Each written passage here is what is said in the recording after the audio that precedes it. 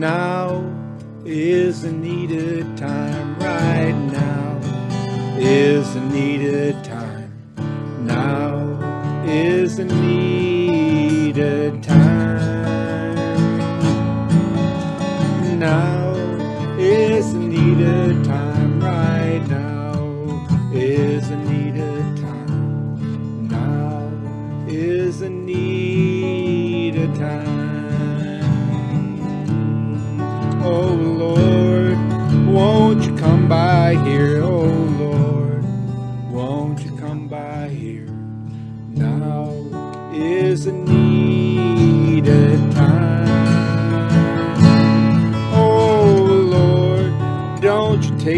long, please, Lord. Don't you take too long, cause now is the needed time.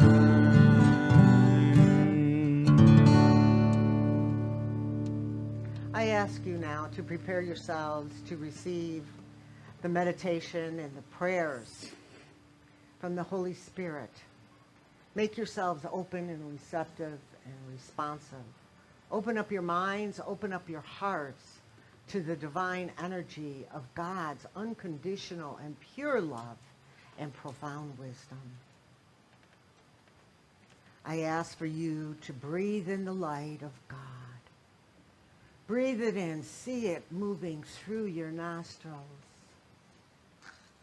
and into your body cavity. And just exhale out gently. Anything that is not of God. Breathe in the light of God. And know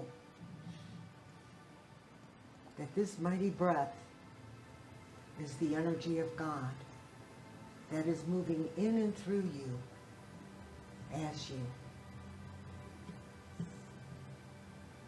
This breath is universal energy.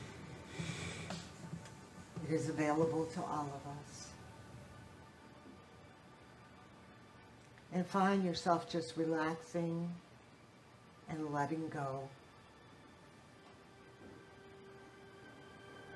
Allow yourself to feel the presence of God within you as you become more peaceful and calm.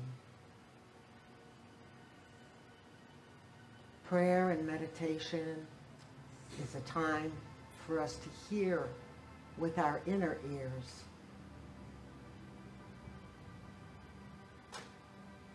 And to see with our inner vision. Relax. Repeat to yourself, I surrender. I surrender into this magnificent light of God.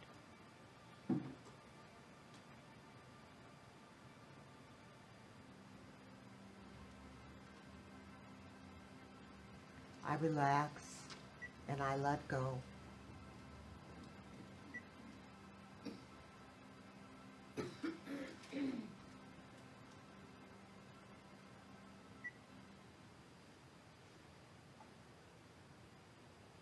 Just allow yourself to be. Be present.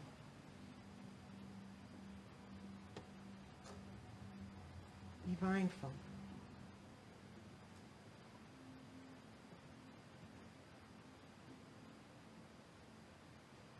Ask God for help.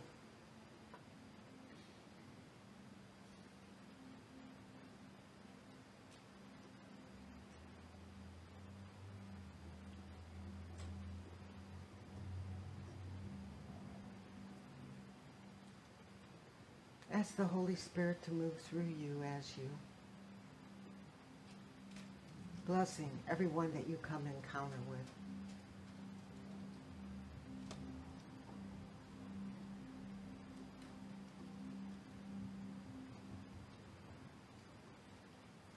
Ask God to take the blinders off of you in areas of your life where you need to see more clearly.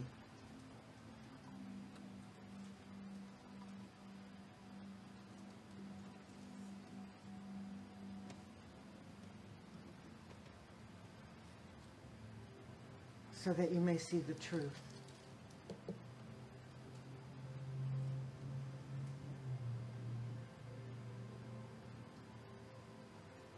Affirm now that I am at one with you, God. Feel that presence. Feel that connection. I am at one with you, God.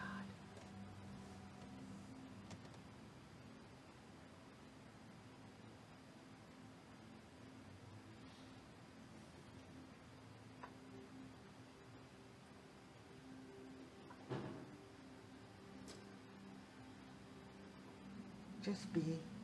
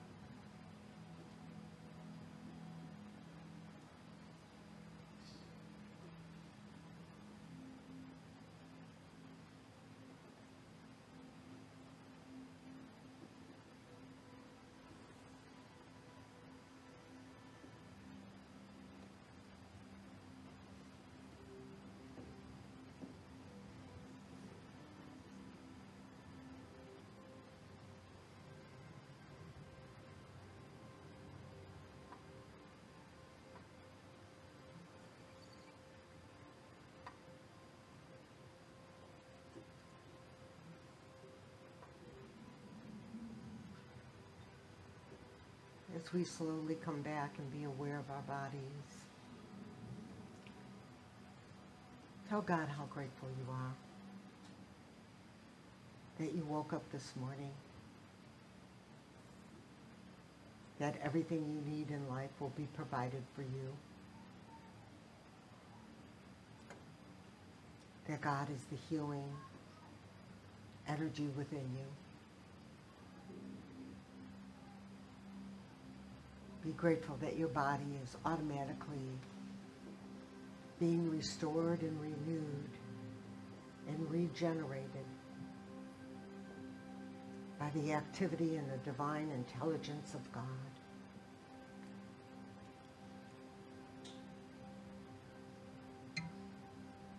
Wiggle your toes, wiggle your hands, and allow yourself to come back and open your eyes.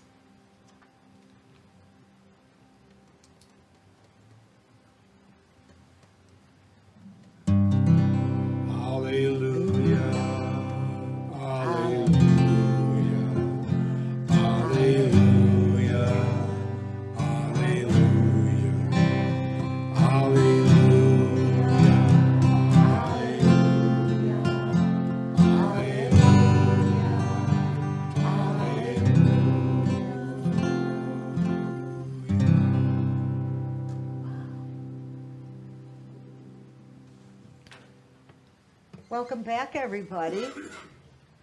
Today, the story that we're going to dive deep into metaphysically and how it affects us in our lives today out of the Bible is about how Jesus heals the man that was born blind. Born blind. Okay? Very interesting story, and let me share it with you. As he went along, he saw a man blind from birth. His disciples asked him, Rabbi, who sinned, this man or his parents, that he was born blind? Neither this man nor his parents sinned, said Jesus. But this happened so that the works of God might be displayed in him. As long as it is day, we must do the works of him who sent me. Night is coming when no one can work. While I am in the world, I am the light of the world.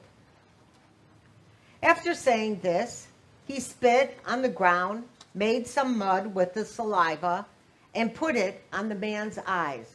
Can you imagine a healer doing that to you today? He'd be like, hey, hey, oh, hey, dude, what, what are we doing here? Did you wash your hands before you did this? Are you COVID free? I just had to throw that in there. It's not in the Bible, but it's a patty part. Go, he told him, wash in the pool of Siloam. This word means sent. So the man went and washed, and he came home seeing. His neighbors and those who had formerly seen him begging asked, Isn't this the same man who used to sit and beg? Some claim that he was. Others says, no, he only looks like him. But he himself insisted, I am the man. How then were your eyes open? They asked.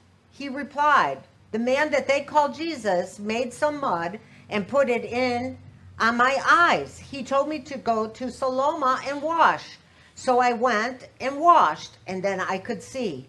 Where is this man? They asked. He said, I don't know. Isn't that profound? And this is probably one of the fifth major acts, healing miracles that Jesus did in the beginning of his ministry. And the question is who sinned? Was it him or was it his parents? Nobody did. His mother didn't sin, his father didn't sin, and the man did not sin. What happened was that Jesus also says that this happened so that the works of God might be displayed in him. So, you know how we're all here for a reason and a purpose?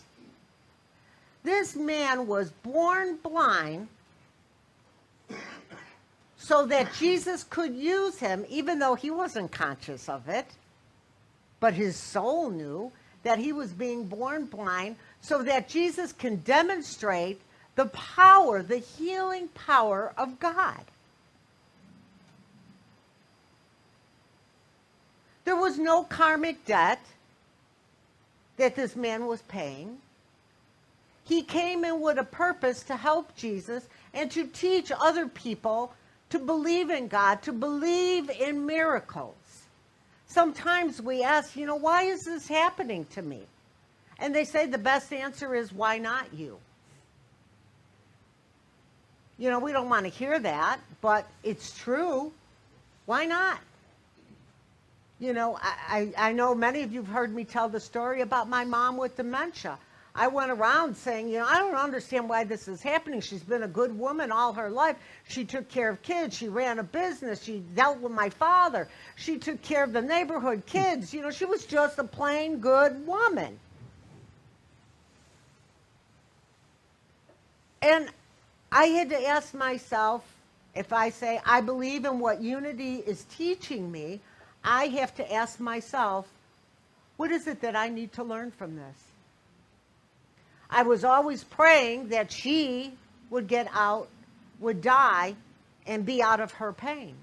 Until one day the Lord said to me, She is not the one in pain, it is you.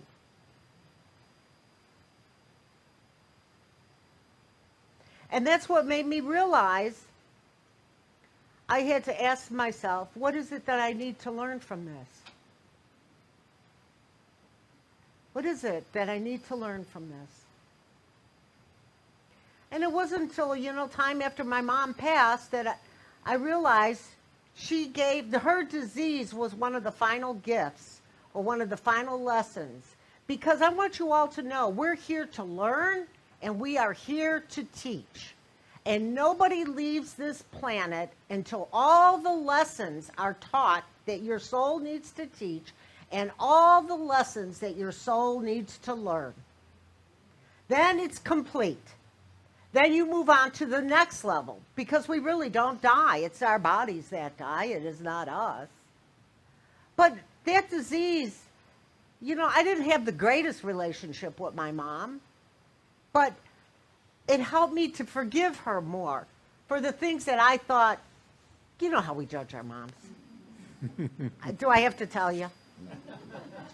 You know what I'm talking about. So it gave me a deeper form of forgiveness and compassion and empathy that just went deeper within me. And then I also saw how her disease was opening up my spiritual gifts more before she died. Because I would have mystical experiences in my sleep where she appeared to me to tell me where she was going and what she was doing and how it was going to happen and all that stuff. And then there was another story I know some of you have heard and some of you haven't, but these were profound experiences in my life that really shifted my spiritual perception. And what makes me see and understand this story so much better. And it was about an 18 year old, nonverbal, autistic boy, man, young man. And I was doing some light energy, uh, color light therapy on him and, um, and some energy work. And his mom was sitting at the, at the head and, of um, the um, massage table and the lights were going, and uh, and I was sitting at the side, and I've been blessed at times to have the gift of clear audio. I can hear things that are not my thoughts. And while he was laying on the bed, he had a beanie baby that he just would shake all the time when he was standing in that. And I noticed that the beanie baby began to slow down and it's just he was just ending up tapping it on himself. And then i heard him in my head. And he said please tell my mother i don't mean to hit her. Please tell my mother that when i said i would help her learn lessons i did not know that I was going to come back this way to help her learn her lessons. And I'm repeating it to his mother, and we're both crying. She's sobbing, and the tears are just coming down my face as I'm listening to him, clear audio, in my head, tell me the story. He said, Tell her I would have never picked this to help her out.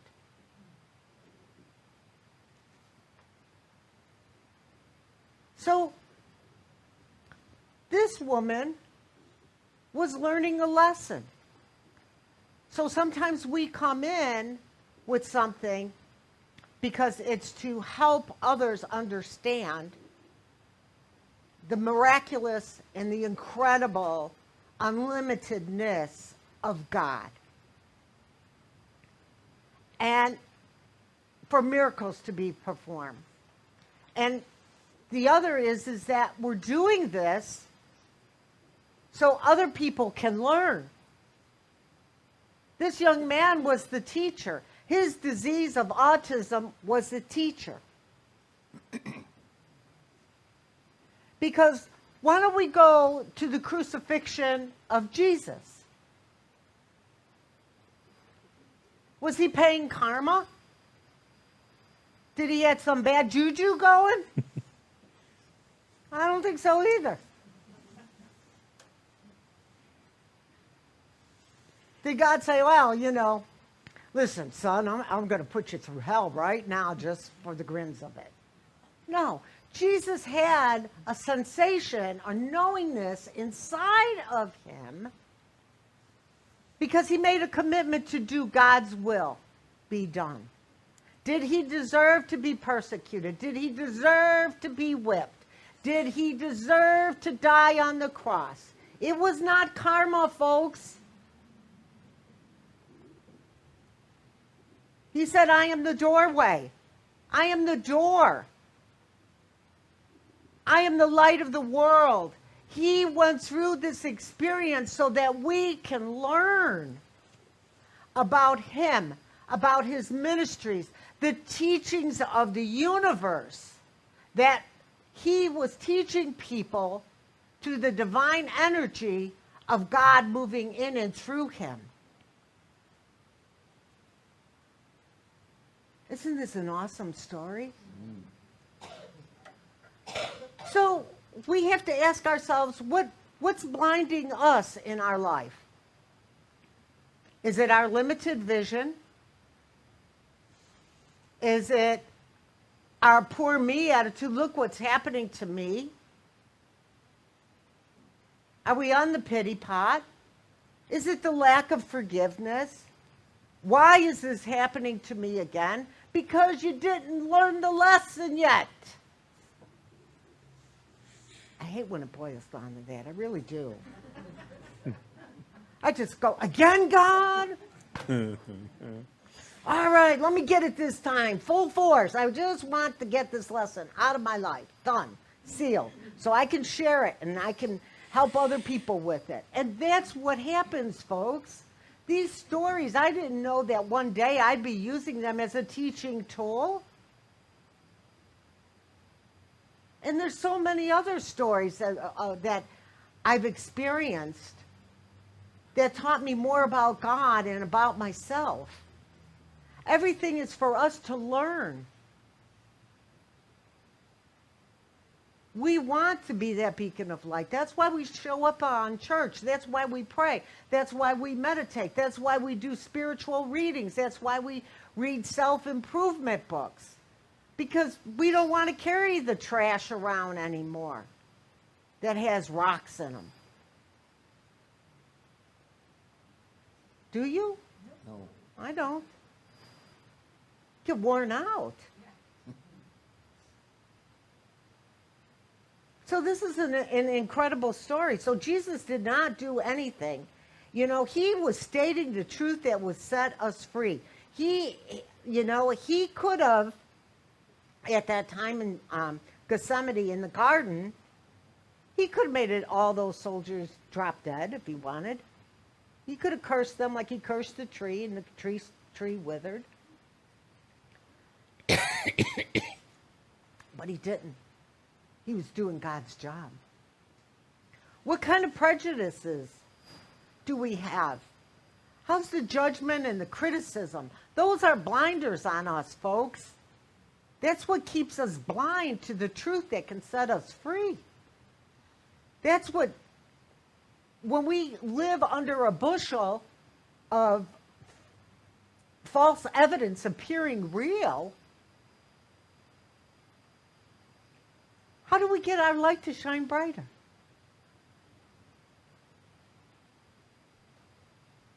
We got to let go of the stuff that's not working because God wants us to. God loves us so much. He wants us to be the biggest and brightest beacon of light in, in your neighborhood. Because the more that we let our light shine, the more we have an effect on the world the more we shift in consciousness, we're all one. It helps the shifting of the world because we're connected. We don't think about it. That we, have, that we are that powerful. When we stretch and grow, we help the planet grow. But some of us gonna, nah you know, it's like Sierra says, well, what, what are you going to do? Just sit there and pray about it all? yeah, I think I am. and, you know, and her mom wanted to get an alarm system on the house. And I said, why? Well, we need to be protected. And I go, I don't really think we need an alarm system on the house. Whatever they can take, then I'll get something new, right? That's my my thought. You know, I got insurance. That's why I pay insurance. Let's do it. So she goes, well, what are you going to do? you know, uh, renew your Pray More subscription yeah. as your security? Yeah, I am.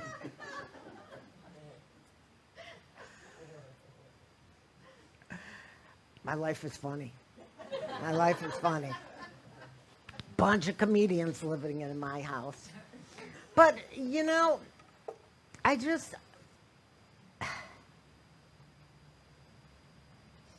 Things are happening because we got to learn or we're, we're giving a lesson. You know, we, we can, you know, trauma and things happen in our life, and I'm not saying, oh, we should jump up, ah, you know. We got to feel our feelings first. Because I want you to know that our feelings, first of all, are not facts. Second of all, our feelings help us fine tune our intuitive nature. Did you know that?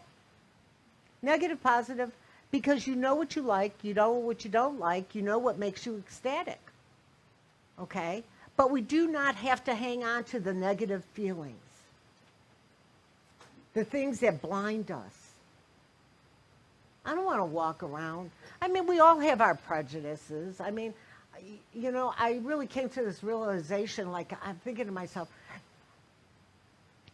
Patty, who you prejudice against? And I came to the conclusion that I'm just prejudiced against everybody.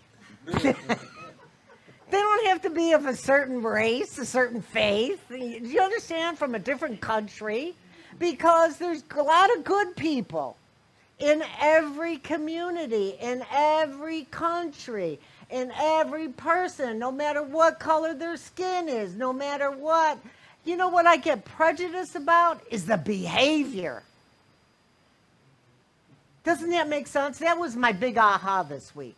It's behavior. And then I have to ask myself, am I upset because that behavior is in me? It's a mirror thing. Ooh, ooh, ooh, ooh, ooh, ooh, that hurts, doesn't it? But then when I see good behavior and I go, oh, wow, I really love that about you. You know what? I really love that about myself because I couldn't see it in you if I can't see it in myself or have an inclination that it's in there inside of me. I just want us to go out there and live good, happy lives. I want us to enjoy life. Don't you? That's what I think God wants us to do is to enjoy life and not to take ourselves so seriously and stop beating ourselves up. Sometimes we're just born blind because we need to learn a lesson. Just imagine the lesson that this man learned that was born blind, that anything is possible. And remember, it's always God who's doing the healing. It's always God who's giving you the illumination. It's always God who's giving you the understanding. It's always God that's making you feel loved. It's always God who's giving you profound wisdom. It's always God who's giving you enthusiasm, enthusiasm and joy and laughter in your life. Why do we love so much when we hear a little kid laugh? It's contagious. You could be in a bad mood and you hear a child laughing. What happens? You laugh. It ignites something in you. It's the same thing as we're growing up here as adults. We're all kids, but we're just bigger kids.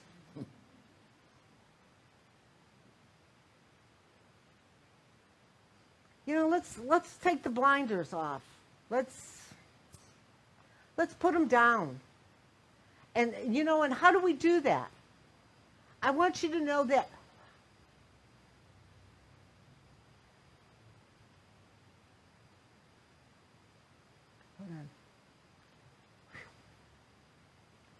How do we take our blinders off? Realizing that we're not always right and we're not always wrong in our lives by listening with the inner ears of God, to feel with the heart of God.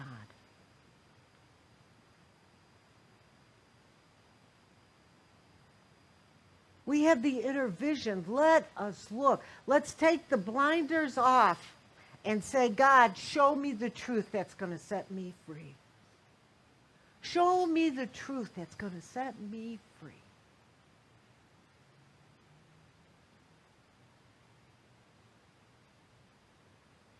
And that's how we take the blinders off. You know, you notice the race horses, they got the blinders so they don't see any but the other horses on the other side or any distractions. Well, sometimes just visually see yourself taking those blinders off yourself. Say, I want to see the light of you, God, here. I call forth the light of God in this situation. I call God to come out and be made manifest in you. I call forth the light of God and the truth of God to come forth from me into manifestation.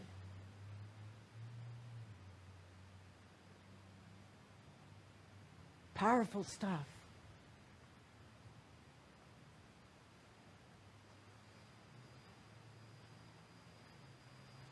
My guides tell me I'm done. Amen. So all of God's people say, Amen. Amen. And so it is.